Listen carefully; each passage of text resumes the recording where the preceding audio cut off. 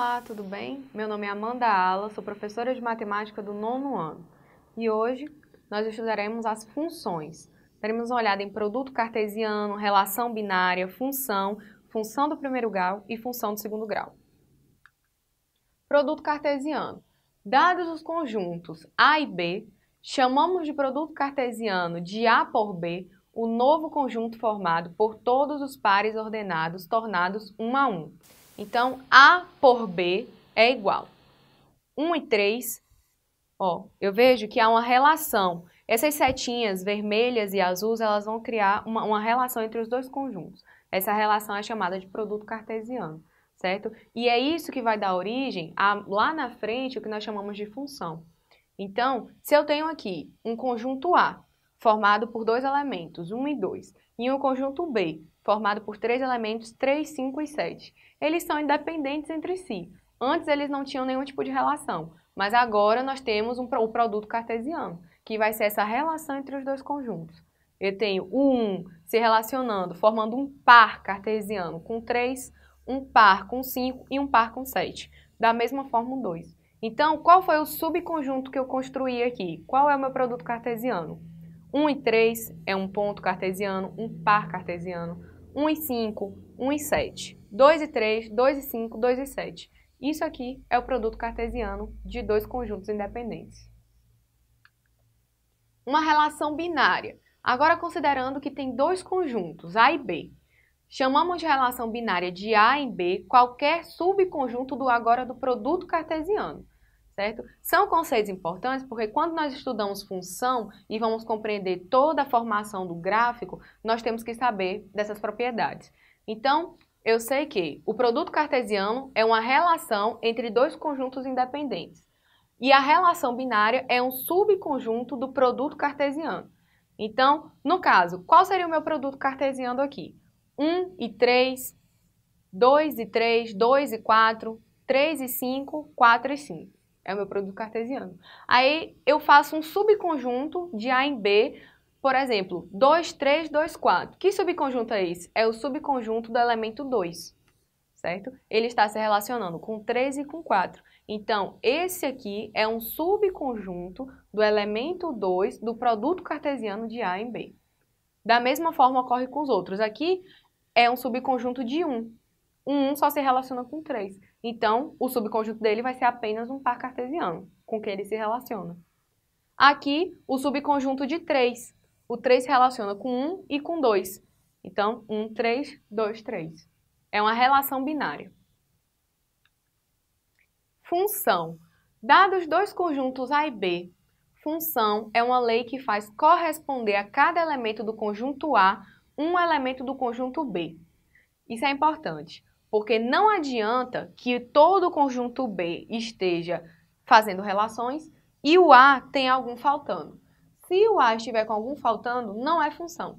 Porque a prioridade aqui é que o A esteja sendo preenchido, que ele faça relações com o conjunto B. Por que isso? Porque o conjunto A é chamado de domínio da função, ou seja, ele representa o x, a parte importante que vai se relacionar com outras variáveis. E o B é o contradomínio ele apenas recebe as ligações, né? Então, se eu tenho aqui 1, 2 e 3, todos estão relacionados, não falta ninguém no A, isso é uma função. Ah, mas está faltando no, no conjunto Y ali, certo? Mas não deixa de ser uma função. Porque o que para que seja uma função, a regra é que o conjunto A esteja completo. Então, da mesma forma aqui, quando se relacionou com todos, ambos estão completos, certo? Mas por que, que eu sei que é uma função? Porque o A está seguindo a regrinha de ter suas ligações. E lá ocorre da mesma forma. Então, nós, x e y são as variáveis independente e dependente, respectivamente. E nós representamos uma função por f de x. Então, o valor numérico de uma função. Digamos que a função f de x é igual a x ao quadrado, certo? E aí eu te dou alguns valores e eu quero que você é, me dê o, o resultado desses valores através de um gráfico. Um gráfico ali de produto cartesiano. Como eu vou resolver isso? Eu sei que o conjunto A ele é responsável em me dar o valor do x. E eu sei que a minha função é x ao quadrado. Então, eu só preciso substituir. Ali, no primeiro caso, qual é o primeiro número do conjunto A? 1. Então, vai ser uma função de f por 1, substituindo aqui. Eu sei que 1 vai ser igual a 1 ao quadrado, porque na x ao quadrado eu substituo, que é igual a 1. E eu vou fazer isso com todos os outros, certo? Vou colocar aqui, ó, se é uma função de fx em 2, 2 elevado a 2, 4. 3 elevado a 2, 9. 4 elevado a 2, 16. E é assim que eu vou descobrir o contradomínio da minha relação binária, do meu produto cartesiano. É através do cálculo da função. Eu vou substituir os valores de A para descobrir os valores de B, seguindo a ordem da função, que nesse caso aqui é x ao quadrado. Lembrando que f de 2 é diferente de f de x igual a 2, certo? f de 2 é para você substituir o valor de x na função, como eu fiz aqui em cima. O f de 1, que é o componente aqui do grupo A, ele vai substituir o x para me dar um resultado, certo? Agora, o f de x igual a 2 vai te pedir para calcular o x de forma que o resultado seja 2. Por exemplo, eu te dou uma função f de x igual a x ao quadrado menos 4. Essa aqui é a minha função. E eu quero que o resultado de f de x seja igual a 2. Então, eu vou igualar para que aquele resultado, aquela função, tenha o um resultado de 2 x ao quadrado menos 4 tem que ser igual a 2, certo? Antes, ó, ele não era igualado a nada. A partir do momento que eu falo que f de x é igual a 2, eu igualo a 2. Aí, resolvendo aqui, x ao quadrado vai ser igual a 6, porque o 4 vai vir para cá positivo e 4 mais 2 igual a 6. E eu vou levantar tudo isso à raiz, e a raiz de 6, certo? x é igual a raiz de 6. Esse é o resultado. Função do primeiro grau ou também chamada de função afim. É a função é, em que vai ser organizada da seguinte forma, eu vou ter ax mais b, certo? Não preciso de um elemento c, d, é formado apenas por ax mais b, sendo a o coeficiente angular e b o linear. Quem vai, quem vai possuir a incógnita aqui é o angular, certo? E elevado à primeira potência, certo? Apenas a incógnita. E o a precisa ser diferente de zero. Se o A não for igual a zero, o zero vai multiplicar o x e o x vai sumir, deixa de ser uma função, porque a função é o cálculo de uma equação com incógnita. Então, o A tem que ser diferente de zero. Um exemplo, uma corrida de táxi custa o preço da bandeirada mais determinado preço por quilômetro rodado. Se a bandeirada custa 3,20 e o quilômetro rodado custa 1,50, que função expressa essa situação? Então, o cálculo de função do primeiro grau vai, ser, vai aparecer em situações em que você vai ter um valor fixo e um valor a ser multiplicado. Mas, para que você possa descobrir o valor a ser multiplicado, é aí que entra a incógnita. E pelo fato de aparecer o incógnita, se transforma em uma função do primeiro grau.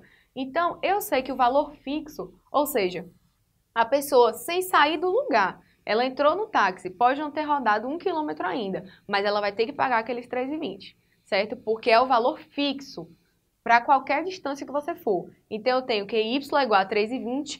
Esse valor fixo aqui está representando um b, que é aquele coeficiente linear, mais 1,50 por quilômetro rodado. Mas você não sabe quantos quilômetros a pessoa vai rodar. Aí que entra a incógnita.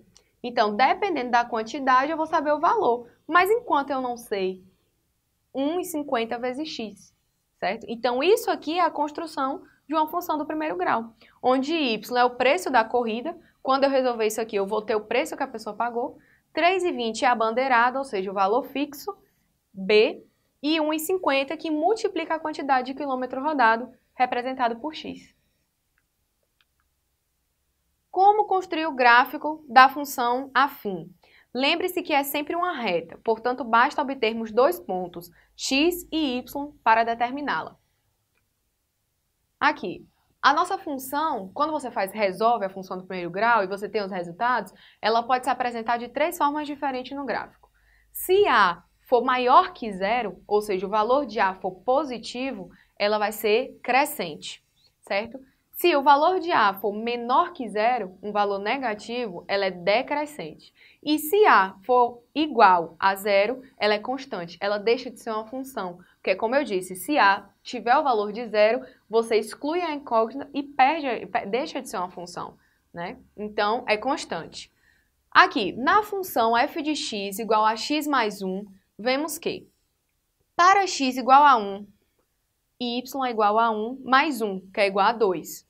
Por quê? Ó, eu, eu substituí, né? Eu tenho que y, que é f de x, a gente coloca uma incógnita para facilitar, é igual a x, eu estou dizendo que x aqui é 1, 1, mais 1 é igual a 2. Então, eu já vou ter o valor da minha equação. Eu sei que quando estiver valendo 1 em x, vai valer 2 em y.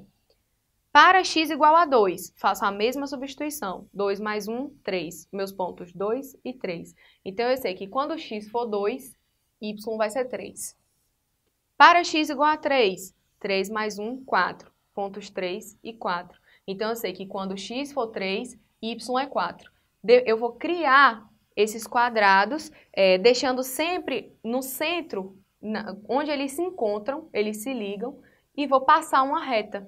Porque minha reta ali, ela é crescente? Porque o meu A é positivo, certo? Ele é maior que zero. Quando não tem nada na frente do x, nós subentendemos que existe um 1 ali, e 1 é positivo. Então, ela é crescente.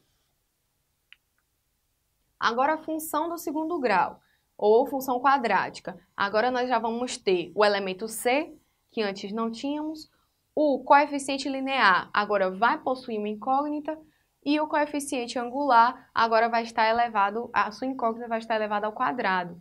A continua a mesma regrinha, tem que ser diferente de zero para que exista uma função do segundo grau. Porque se A for igual a zero, nós teremos uma função do primeiro grau. Então, representação gráfica é sempre uma parábola, né? sempre uma curva. Enquanto a função do primeiro grau é uma reta, na do segundo grau agora nós temos uma parábola e ela depende do valor de delta. Então, aqui a gente tem mais ou menos como ocorre na construção de uma parábola. Quando o delta for menor que zero, a parábola não corta o eixo x. Então, a gente tem ali, ó, no último quadrinho, delta menor que zero, você vê que é uma parábola flutuante. Ela não corta nem o, nem o eixo y, nem o x, o eixo x. Portanto, a função não apresenta raízes reais, porque as raízes reais são os pontos em que a parábola corta o eixo x. Então, aqui, pontos em que ela corta são as raízes, tá? Agora, se A for maior que zero, ou seja, se A for positivo, a concavidade é para cima. Para cima. A positivo, a concavidade é para cima. E A negativo, para baixo. Então, antes de resolver toda a função do segundo grau, a gente já tem que estar ciente dessas duas regras. Você tem que observar o valor de delta e o valor de A antes de construir a parábola da sua função. Então, para construir um gráfico da função quadrática, representamos os pares ordenados x e y no plano cartesiano e traçamos a parábola que passa por esses pontos ali. O plano cartesiano é essa subsecção da, do x, do eixo x e do eixo y, certo? E você vai desenhar ali a sua parábola de acordo com os valores que você encontrar resolvendo a função do segundo grau pela fórmula de Bhaskara. Você vai encontrar duas raízes reais e são elas que você vai traçar no eixo x. É isso, gente, ó. É importante resolver questões, porque matemática só se aprende resolvendo questões. Então, é, é bom que vocês resolvam questões diferentes, questões de gráficos é, e principalmente teoria. Porque função, por mais que você tenha que resolver questão, a teoria é muito importante. O valor de delta, o valor de A, qual a importância de B, certo? Por que é uma função crescente e decrescente, tudo bem? A nossa aulinha foi toda tirada do Caderno do Futuro de Matemática, do nono ano. Espero que vocês tenham entendido. Sucesso nos estudos e até a próxima!